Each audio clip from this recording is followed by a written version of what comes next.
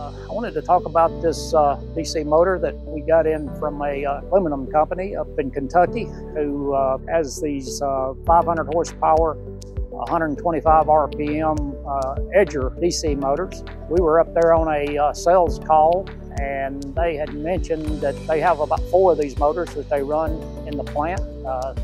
they, they have one spare and these motors are vertically mounted, which is uh, kind of odd for a DC motor.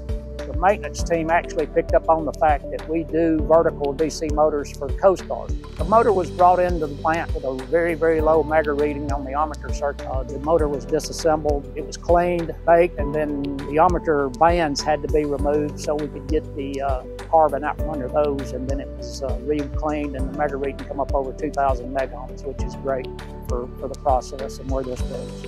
Yeah, yeah. They uh, once this motor is, is completed and, and assembled and load tested, it will go back to the plant, and then the, the plant will install it and pull another one and, and send it to us.